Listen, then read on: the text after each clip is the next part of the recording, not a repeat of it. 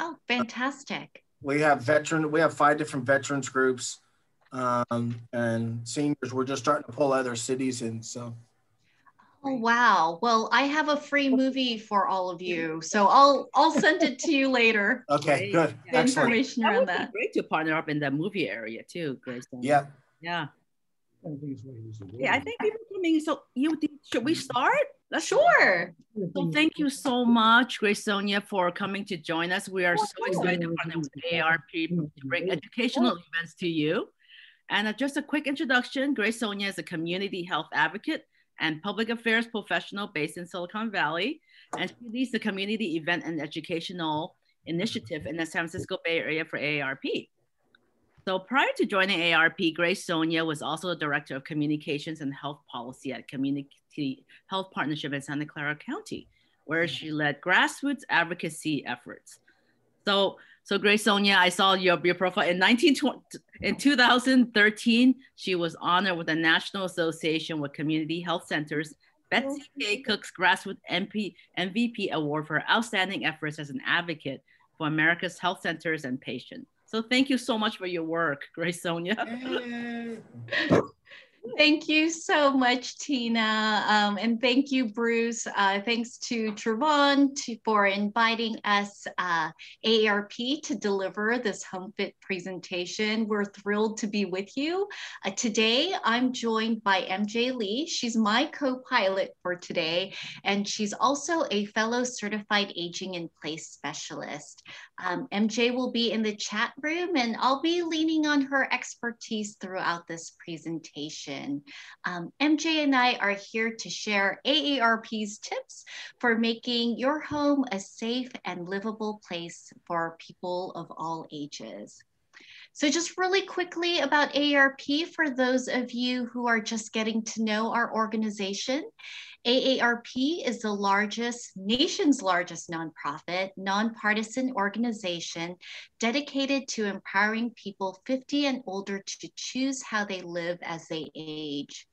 AARP has a nationwide presence with nearly 38 million members, 3.3 million of whom live here in the great state of California. AARP is dedicated to empowering people 50 and older to choose how they live as they age. And this is why we are especially thrilled at Tina's invitation to join Travonde's Community Day. So thank you, Tina. Thank you, Trevon. Thank you, Bruce, for all that you do here in the community. So in this unique moment in time. As you all know, we are staying home more than ever. It's the perfect opportunity to stop, take a look around, and assess if your home is somewhere you can safely age in place. Uh, so before we begin, if you haven't already, as a courtesy to your fellow participants, please place yourselves on mute unless you plan to speak. And then um, also a note, this is an interactive presentation, so please feel free to put your questions in the chat box. Um, MJ will be monitoring the chat room and we'll be sure to take pauses throughout the presentation to get to your comments. So one way to make a home more livable for people of all ages is to incorporate design principles and products that are adaptable, safe, and easy to use. This AARP HomeFit workshop will show you how that's possible. This presentation is actually based on our HomeFit guide, which you can be fat, which you could find at www.aarp.org/homefit. The AARP HomeFit Guide and presentation were created to help people live safely and comfortably in their homes by enabling where they live to be a lifelong home, suitable for themselves and others in their household, no matter a person's age or life stage. So the, by the end of our presentation today, you'll be able to one, recognize how a home can be modified to support changing needs at any age. Two, determine which modifications are important for maintaining the lifestyle that you desire. And three, distinguish between modifications that are do it yourself or DIY, or that are best left to a professional. And then please note that uh, to take note of items, I should say, um, with um, with the green stars next to them. So later on in the presentation, you'll see the slide deck and uh, some items will have a green star right next to them. This is a visual indicator that those items are uh, could be considered quick fixes or DIY projects. Uh, so encourage you to pay attention to those. Universal design. Universal design may seem like a technical term, but it refers to a simple concept. Universal design is an approach to designing products and environments to accommodate all people, including those with physical, cognitive, or sensory impairments. It, along with livability and visitability, is the basis for the HomeFit Guide and our conversation today. So let's begin with the exterior. Whether a residence is a house or an apartment, its exterior doorway should allow a smooth transition into and out of the property. Many homes have entrance steps, which can make the home inaccessible to a person who uses a wheelchair, relies on crutches, or who has difficulty climbing the stairs. The ideal is for all homes to have at least one zero step exterior doorway. Zero step entrances are accessible to all people, whereas steps may be a challenge for those with mobility limitations. And then if a step-free access isn't possible for the front of the home, a side door, back door, or door located inside the garage may be a suitable substitute. Um, if a zero-step entryway can't be achieved, there are ways to make steps safer for all. Steps need to be well lit, free from obstructions, and have railings on both sides. The railing should extend past the last step to ensure a safe transition for all people. So here's another option, ramps. Ramps can be added to be either permanent or temporary. Um, there are many considerations when incorporating a ramp into your entrance, so uh, it's best to consult with a professional on adding a ramp. And then here's another option, a vertical platform lift. That should be installed by a licensed elevator professional.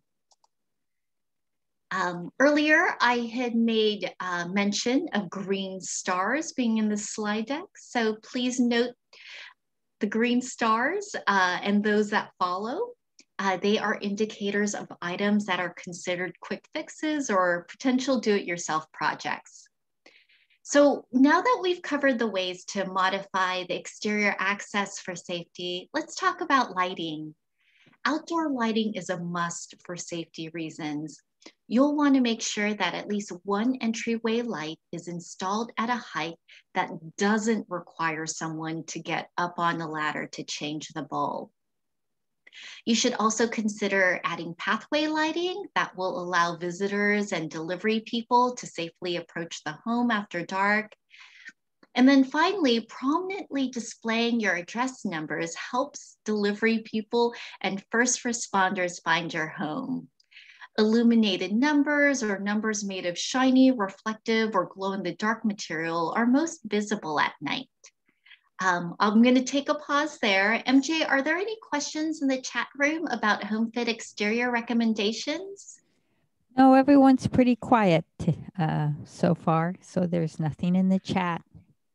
Great. I'll go ahead and move on then, but just a friendly reminder to our participants, if you have any questions, feel free to drop those in and uh, we'll make sure we'll answer all your questions. So let's move on to talk about how smart home features can help in your home. Imagine being able to adjust your thermostat, turn on your favorite radio station, or even add something to your shopping list without having to leave your favorite chair. Now, thanks to advances in smart home technology, all of these are now possible and easier to set up than you might imagine. So let me see if I could engage our audience in a quick poll. Um, please type into the chat if you have any smart home features such as Amazon Echo, Alexa, Google Assistant, or Ring Doorbell.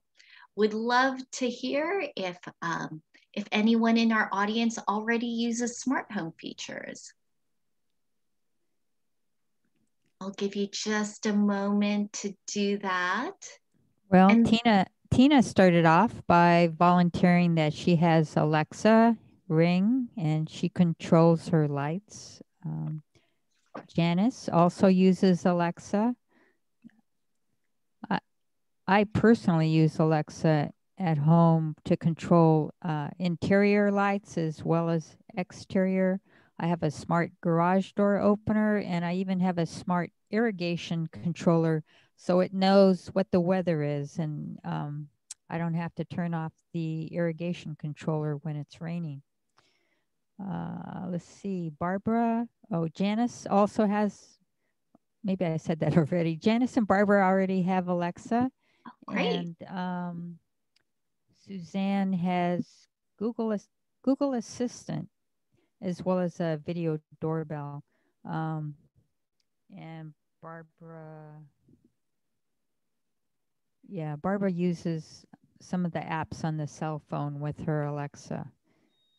Yolanda, ah. Yolanda uses Ring and controls her lights and I'm not sure. It says rails. Sorry. I, I thought my glasses were off, but oh.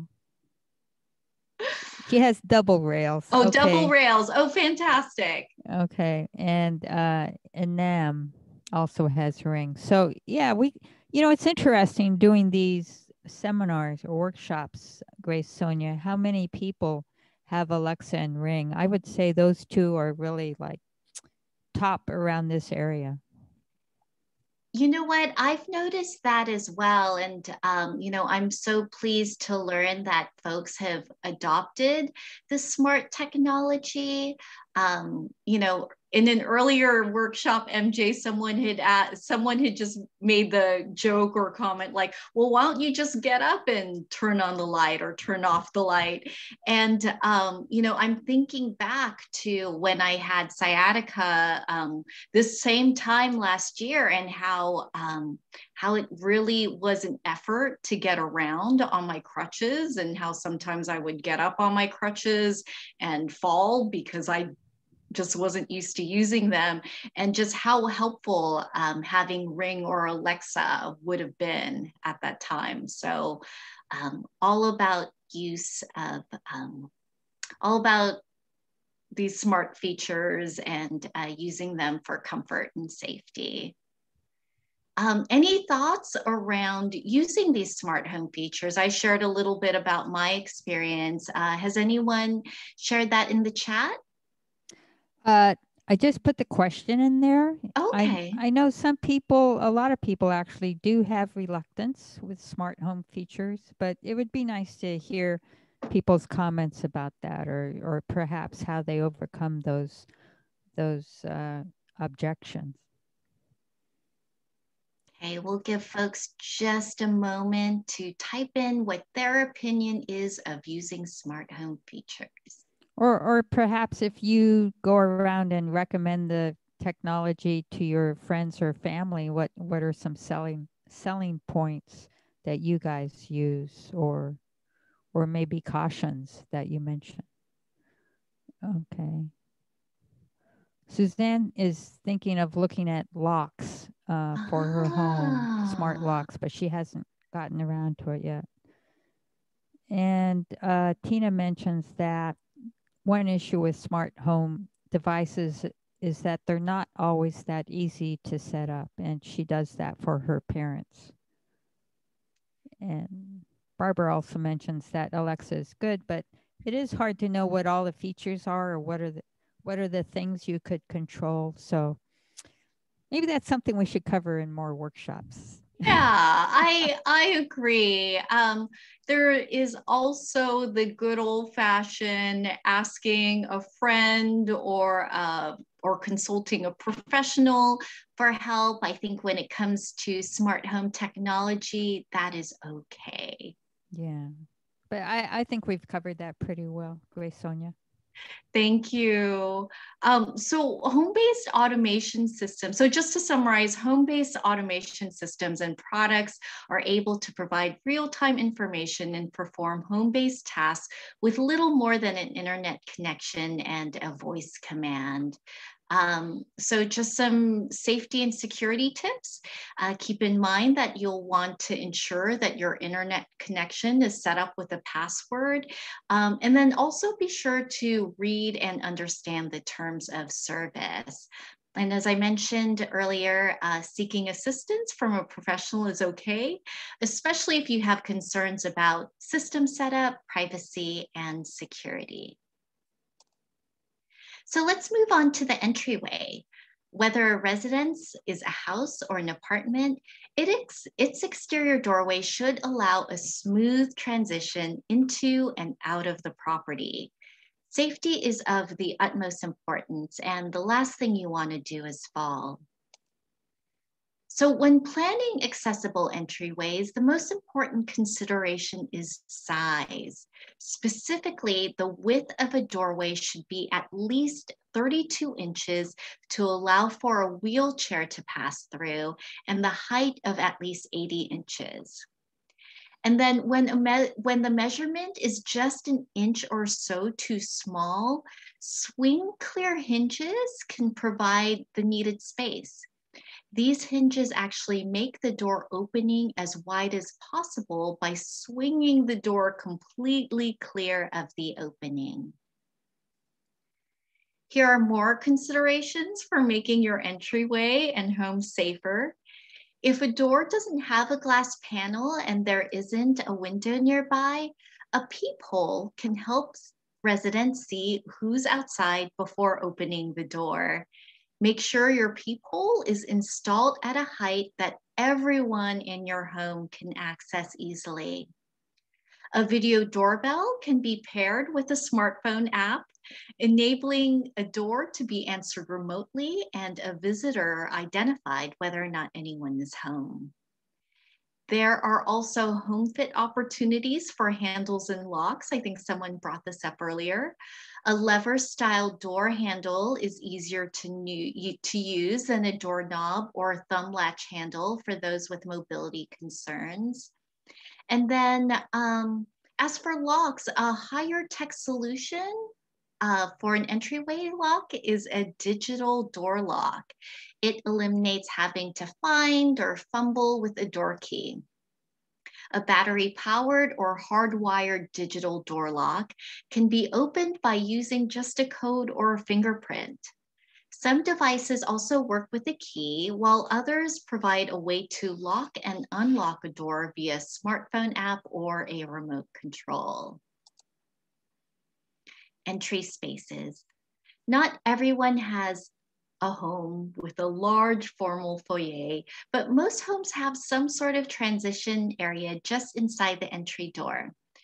To promote safety, that space should be free of clutter and provide storage for things carried or worn.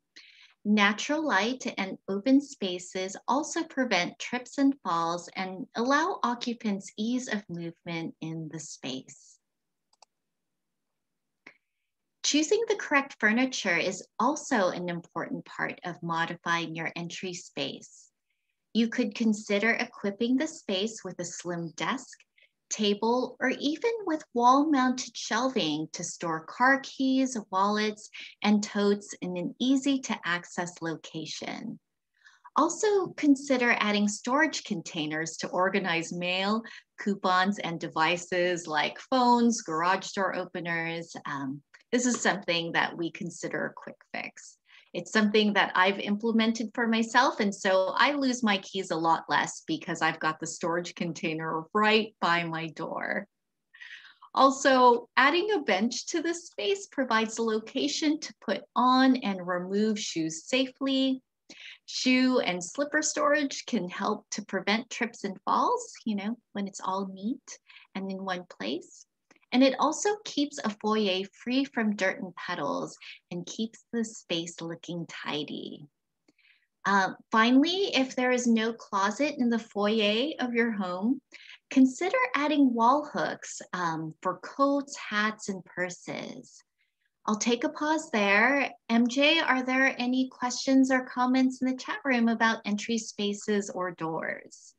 Well, Fred did mention that a 36 inch front door is really a, it it doesn't just help with wheelchairs, but it also helps you when moving things such as a large refrigerator. So, yeah, if you if you're going going to replace your front door, you should always go for the wider width. That is that is definitely a pro tip right there. Um, yeah, if yeah, knowing that you could get a refrigerator in and out is is a good marker um, for how wide your doorway should be, or a really really big couch. Great, thanks for sharing that, Fred. Let's move on to the kitchen. So now that we've entered the home safely, let's visit one of the most popular places in the house. My favorite place, the kitchen. Home fitting interventions can make the kitchen safer and easier to use for every diner, visitor, or cook. There are many things to consider when making a kitchen accessible, and those range from quicker fixes to harder remodels that require professionals' help. Some quicker fixes for the kitchen include reorienting adjustable lighting and adding stick-on under cabinet lighting to shine more light on commonly used workspaces. Modifications that require the help of a professional include cabinet changes. Since frequently used items are best stored between hip and shoulder height, adding lower level cabinets with pull out shelves and extra shelving for storing items of different heights makes them easier for people to access. And then other professional renovations can include open shelving, which makes items easier to reach, uh, see, and replace after use.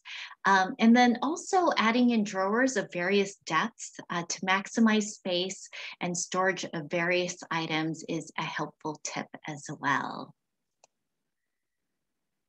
Handles and hardware can be relatively easy to modify, but may require the help of a professional in some instances. First, consider the handles on your existing cabinets. D-shaped handles, like the one that's pictured here, and drawer pulls um, are easier to grasp than knobs.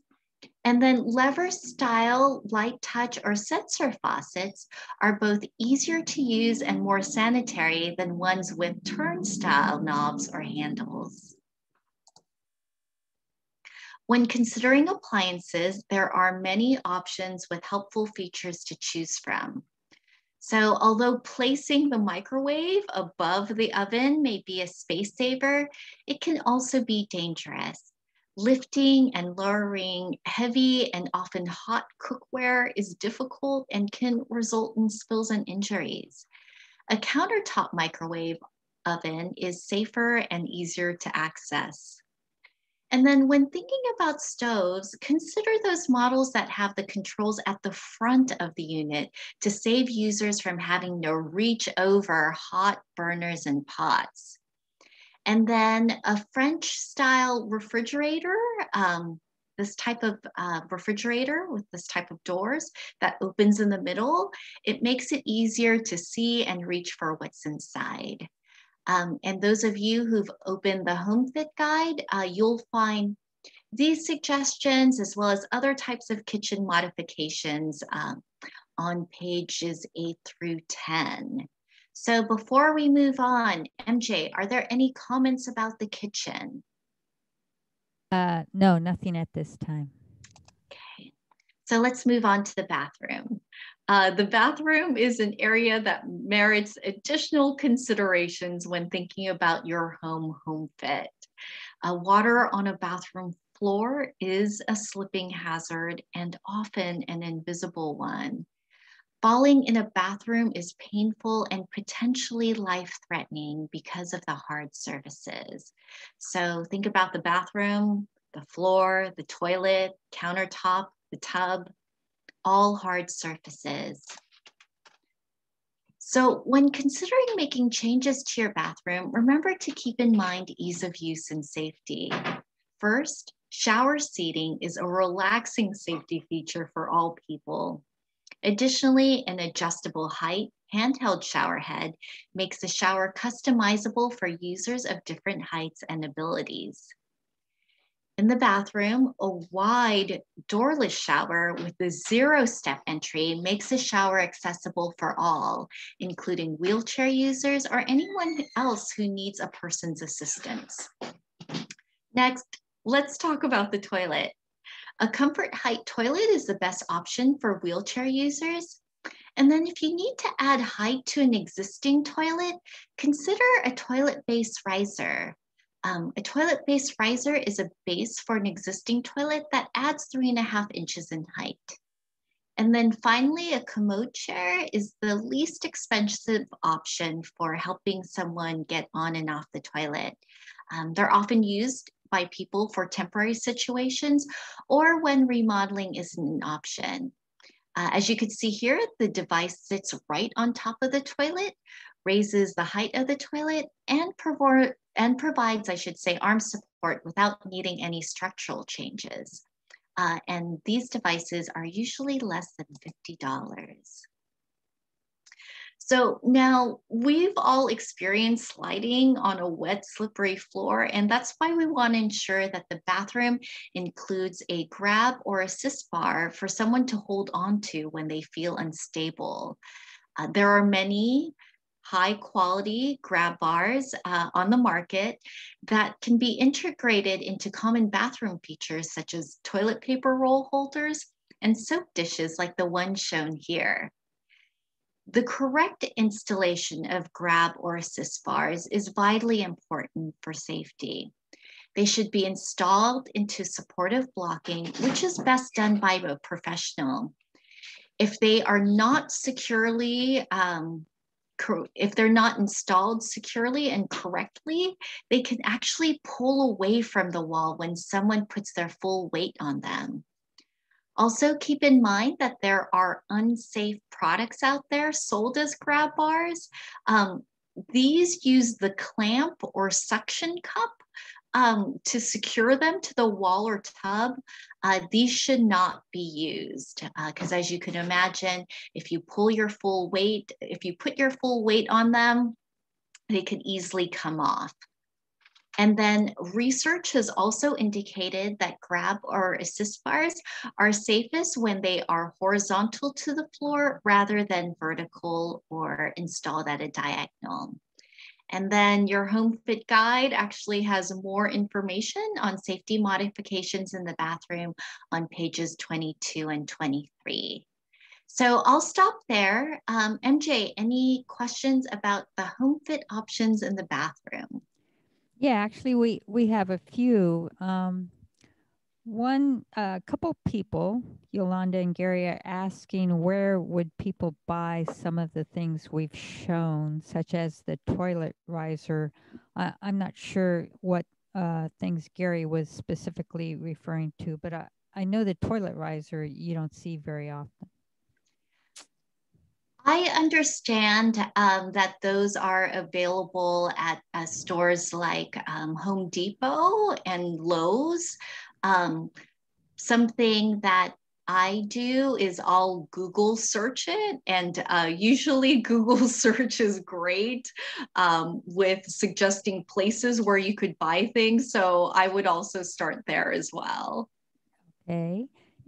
And um, Yolanda asked if AARP has uh, a handyman or carpentry crew to help install things like grab bars. So I did put in the chat a reference to Rebuilding Together, Silicon Valley. Um, I couldn't remember if you're, you're going to mention that as well. You are? Um, thank you, MJ. So I wasn't planning on mentioning it. okay. So I'm right. so glad that you brought it up. There, um, Rebuilding Together is a fantastic organization to consult with. They are a nonprofit organization and uh, provide home repairs to folks who um, are in need and who are looking to make these safety modifications in their home. Um, Rebuilding Together, Silicon Valley, um, if you Google them just like that, um, you'll be able to find their website or their, um, just off the top of my head, the, um, their URL is rebuildingtogethersv.org. And I also want to say there is a um, Rebuilding Together organization in San Mateo County as well. That's right. They're actually in Redwood City. I I didn't have that URL. There's a, another question about um, how does the transfer bench work? That's Ah, kind of how- hard to talk through that. Yeah. So, um, is the question how to move someone on a transfer bench or how it can be helpful? It it just asked, or Jane just asked, how does the transfer bench work? Ah, um, How is it helpful? oh, how's Oh, it thank you, helpful? Oh, yes, thanks. Thank you. Um, so it's helpful in that um, if you have someone who has mobility issues, so for example, someone in a wheelchair, uh, and you know, it's not possible to use, well, I wouldn't recommend like wheeling a person in, but having a transfer bench allows that person to still use the shower um, a lot easier because you could just transfer them over easier like on a bench versus um, you know using like a chair. Does that make sense? So bench is easier to uh, like support somebody and to transfer them there versus um, you know having to move uh, someone onto a chair in the um, in the shower and the chair not necessarily being stable. Does that make sense? Yeah, I'm just trying to look at it from the viewpoint of I don't have a walk-in shower. I have a tub shower. And I was Ah, wondering if in the long run, using something like that would be safer getting in and out. Yes. Um, the photo that so I'm gonna circle this here. That would be if you know if you're not going to remodel um, your bathroom, that this type of transfer chair would be the option for you. Okay, thank you. Thank you. Great question. Say, Grace Sonia, we did have um, a comment from Fred saying that he has a bathroom skylight that helps, um, you know, giving him light light without having to remember to turn the light switch on. And um, later later on, we're probably going to talk about the motion sensing night lights that are great. But actually, I don't know if Tina and Bruce are listening, but if if you guys have answers to this question about a resource for Redwood City uh, people to get um, handyman services, if you could put that in the chat or, Yeah. or come online, that'd be great. Actually, I'm um, on the phone right now. Uh, we have a rebuilding together, and I'm going to see if I can get them set up for one of our next upcoming Zoom classes here. Oh, okay. That's So wonderful. Thanks, Bruce. Yes, MJ, that is wonderful. They're a fantastic organization. And thank you so much for your questions in the chat. Um, it's great to get these questions as um, sharing this information not only benefits the person asking the question, but everybody else in the room. That takes care of the chat for now, Grace Sonia. Great, thank you. Um, well, let's move on to living spaces then. Um, we'll turn our attention to the living spaces in the home. Um, Earlier, I had talked about universal design, and universal design for living spaces focuses on safety and livability, but also this concept of visitability. So, people visiting your home. Here are some tips to make your living space safe for those people who are living there and people who are visiting. One, always anchor tall furnishings to the wall to prevent tipping. Two, secure exposed cords to the floor by using an electrical cord approved adhesive or covering. Be sure to check the cord regularly to ensure there's no fraying or breakages. Three, provide two feet of clear space between a coffee table and a couch so people have room to maneuver while sitting down and getting up. Four, avoid furniture with sharp corners and always secure window treatment cords to prevent entanglement. And then five, secure area rugs to the floor with non-slip mats or double-sided tape. Um, and then, in my opinion, if you're not married to your area rug, consider getting rid of it. So let's talk about lighting um, and the electrical and living spaces. Most of these changes, but not all, would need to be completed by a professional. One easy thing to do is to use natural light, like what Fred was talking about in the bathroom, um, during the day by opening blinds and curtains to brighten up the room or the bathroom. Another quick fix is using a plug-in nightlight in outlets throughout the home. The ideal height for switches is roughly three to four feet from the floor and then rocker style switches that are pictured here make turning lights on and off very easily. Another tip, stairway and hallway lights need to have on and off switches at both ends of the hall and at the top and bottom of the stairs. Light switches that glow in the dark are especially helpful in those areas.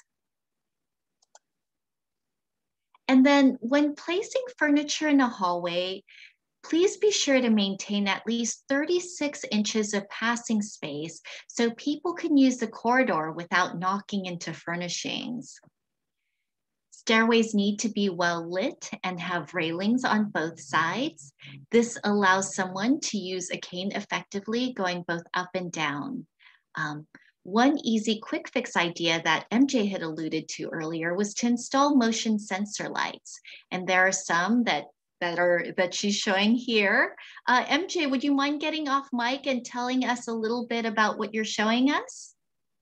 Well, this night light is made by Mr. Beams. They're now owned by Amazon and they're motion sensing. I have a bunch of these around my house, and there's a smaller version about that high that I have placed on my stairwells. So that's just perfect. I, I, the first step I take onto the top or bottom of the stairwell, it immediately lights up, and that that's the kind of thing that I think will help you, uh, you know, in your in your fall prevention uh, fix-its around the house, and it's very cheap and very easy. You can even stick these on the wall. They they come with some uh, tape. That's great. Thanks so much for showing that to us, MJ, and uh, giving us an idea around how to um, keep our spaces bright, well lit, and safe. Um, so let me talk a little bit about the stairs themselves. The safest surface and covering for steps is tightly woven low pile carpet within padding. Um, a recommendation is to use contrasting colors or patterns to help differentiate between uh, each step uh, from the tread of the next. And then if stairs are uncarpeted, um, always make sure that they have a non-slip surface, such as an adhesive strip or um, securely placed rubber tread. And then as mentioned earlier, railways should extend past the bottom step for safety. And then when single story living is needed but not possible, a stair chairlift can be a practical and safe mobility solution. And stair chairlift should be installed by a professional. And that is the tour of our Home Fit home. You may remember that at the beginning of the presentation, um, our goal today was to help you identify at least one quick fix that you can take on right away to make your home a better fit for you. So at this time, I invite you to type into the chat one to two fixes that you'll consider tackling in the next three months. I'll give you a moment to do that and then I'll ask MJ what's in the chat.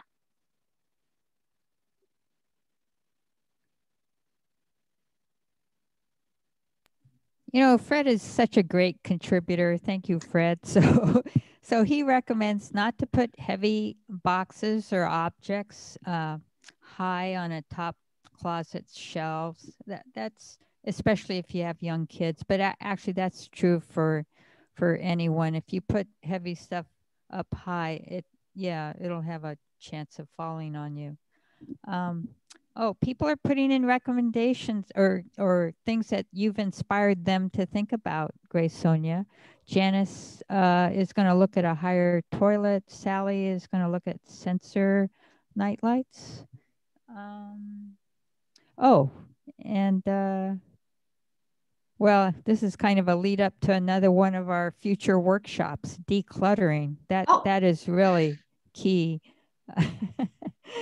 oh, getting rid of rugs, says Vero. And um, I will put another link into the home fit guide for you guys. And and it's great to see that uh, so many of you are paying attention actually. Yes. Uh, thank you so much for your kind attention. I have here up on the screen, and MJ is going to drop a couple links into the chat um, of AARP resources. So, um, where to find our Home Fit Guide. Uh, there is actually an app that AARP has created for iPhones and iPads called Home Fit AR. The app uses image recognition to identify design elements and appliances like refrigerators, uh, sinks, and stairs, then employs augmented reality to provide additional information with specific to dos or fixes to make a home more comfortable and safe. Um, and then if you're concerned about home maintenance, please be sure to take a look at the Here to Stay guide available for free at the AARP Foundation. You could actually take a self assessment and search a directory for free and low cost programs and services near you. Uh, one of those programs being Rebuilding Together. Um, you can also get tips, checklists, worksheets, and more to help you plan, prioritize, and keep your home maintenance uh, routine on track. And then just a final note, occupational therapists and certified aging in place professionals can also be very helpful resources. Uh, these professionals understand your various needs and can accompany um, and can accompany you in thinking about um, aging in place solutions for your home. Want to thank you all for joining us today and for your great tips and your engagement in the chat. Appreciate all your questions.